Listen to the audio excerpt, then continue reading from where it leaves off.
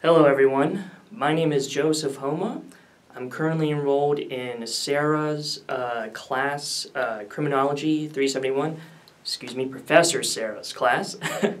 um, the topic that I will be presenting for my final project is uh, Hirschi's bonding theory.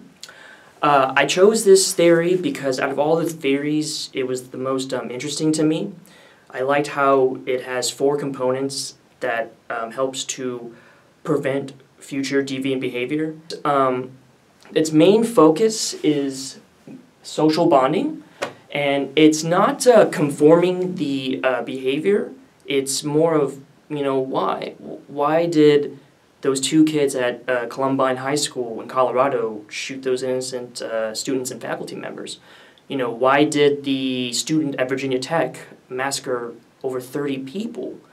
Um, it's it's sad and you know it happened. And maybe with this theory we can help to prevent that uh, behavior. Because you know in the text it, it states that you know no one is born with criminal intentions. However every day in our lives from age one to the last day of our life we are pressured. And when i say pressured we are pressured to do uh, commit you know, criminal acts such as take a candy bar without asking, taking money from your mom's purse, or robbing a bank. I don't know, the list goes on.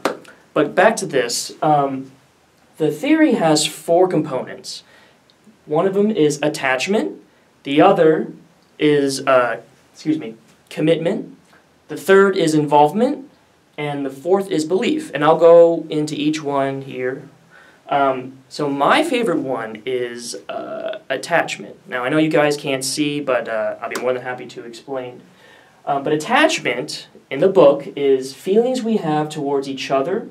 Attachment is most important. Uh, lack of attachment could lead to uh, delinquent behavior. Now attachment is referring to the attachment we have to our parents, to our social peers, and perhaps to a role model.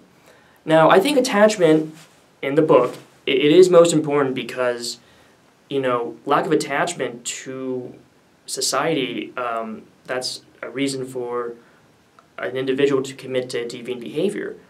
Um, if there is more attachment, you know, more uh, spent social bonding, spending time with one another, that's going to help to decrease, uh, you know, delinquent behavior. Our second component is commitment. Now, Commitment used in this text is the investment one has in activities such as uh, education, sports, uh, volunteering, etc. Anything that would help you strive for that ultimate goal. Um, a person must uh, remember they measure the extent to which that investment would be lost by deviant behavior. So, you know, for instance, uh, when I first moved to Baltimore a couple years ago, I, uh, I went to a gas station to put gas in my car, and uh, while I was waiting, there was a there was a kid yelling at the uh, the cashier. Now this was like a gas station where uh, it was uh, bulletproof glass, really small like space, you know, not much room for waiting. In any case, this little kid was just being so vulgar, being so rude to this guy, and I only put him at maybe around age nine. Um, but in any case, um, I was so I was so shocked because this was my again my first time in Baltimore. That was like my first like social interaction. But uh, I actually talked to the kid and asked him, "Hey man, what what was that all about?" And he kind of like looked at me and was like, "You know, f you, man. You don't know me. I dropped out of elementary school whatever. Blah blah blah." And I, I thought to myself, wow, maybe if he would have uh, stayed in school, or maybe if he maybe he lost attachment to his parents or friends, I, I don't know. You know, there's so many factors that can go into it. But of course, you know, after that um, incident, uh, I didn't uh, continue my, my questioning with him. I, I, I was just like, all right, man, that's whatever, you know. um, but, you know, who knows? You know, if people, you know, actually saw the long road or the long achievement at the end, maybe they have a chance of you know avoiding to participate in delinquent behavior.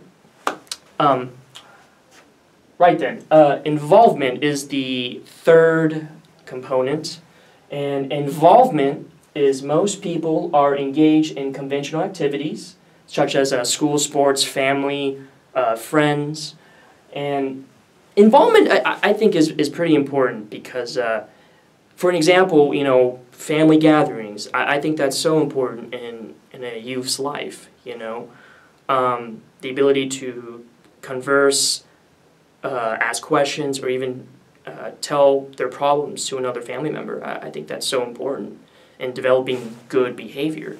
Because, you know, without involvement, uh, the person could, um, you know, resort to talking to a stranger or doing, you know, something that may cause uh, delinquent behavior. Like he might take up smoking or, you know, he might uh, steal items at a store to, to cope with no involvement in his life. Um, you know, the factors go on. And last but not least, our fourth thing is belief. Now, belief is, um, in a nutshell, a person accepts uh, society's uh, norms in, in, in terms of like law and the rules. The belief is, is supposed to help, uh, you know, the adolescents know that, hey, if you take something from the store, that's, that's a crime. That's, that's not allowed, you know. And I feel like belief is just as important just because the lack of belief, you know, they could resort to crime, you know, when they get older. Uh, and it's, you know, it's sad, you know, if people who don't have believe in anything, you know, they could honestly just do the unthinkable, you know. And I think it's uh, you know, important that people need to have some type of belief in. You know, um, being the age that I am, I have a lot of, uh, I'm, I'm older than some of these college students. I won't say how old I am, but uh, I have a lot of cousins and family members who are between the ages of 5 and, and 10. And it's, it's amazing how impressionable the, excuse me, impressionable our youth is. You know, if you, you, you tell them to try something like chess, they may love or hate it. You know, um, I get a lot of FaceTiming, and for those of you who don't know about FaceTiming, it's basically a video chat. But I have a lot of my cousins FaceTiming me all, all, FaceTiming me all the time and asking me all these questions. What should I do? Blah blah blah. How are you?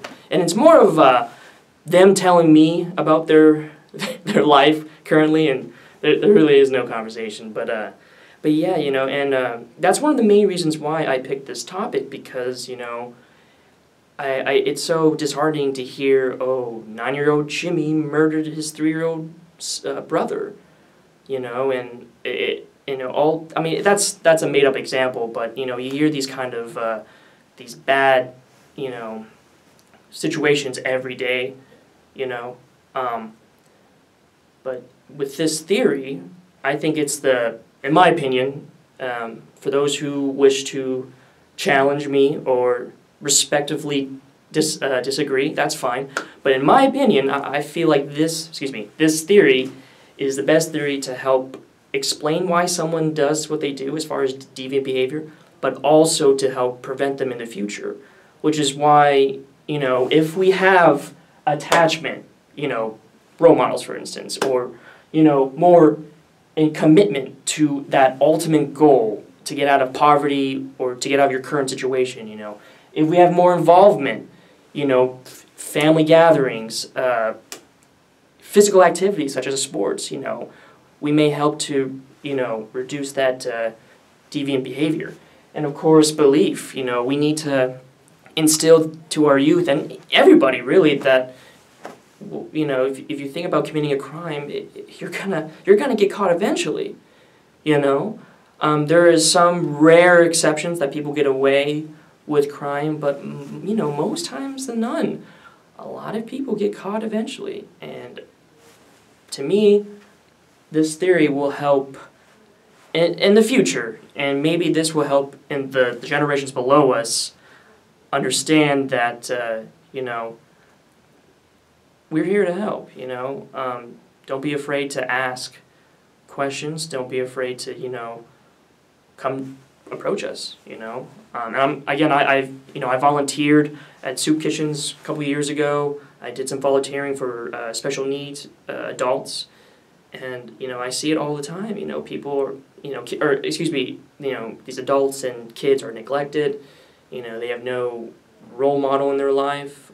You know, and it's it's so sad. You know, and hope you know one day we all, or maybe I can change. We can change the world. You know, and help uh, reduce deviant behavior. Because if we don't, uh, it's just gonna get worse. but uh, uh, again, everyone, thank you for your time, and uh, hopefully you guys learned anything. And uh, just to make it clear, this was all in chapter six. So if you forgot the other theories or you want to read up more about this theory, chapter six is your friend. Thank you so much.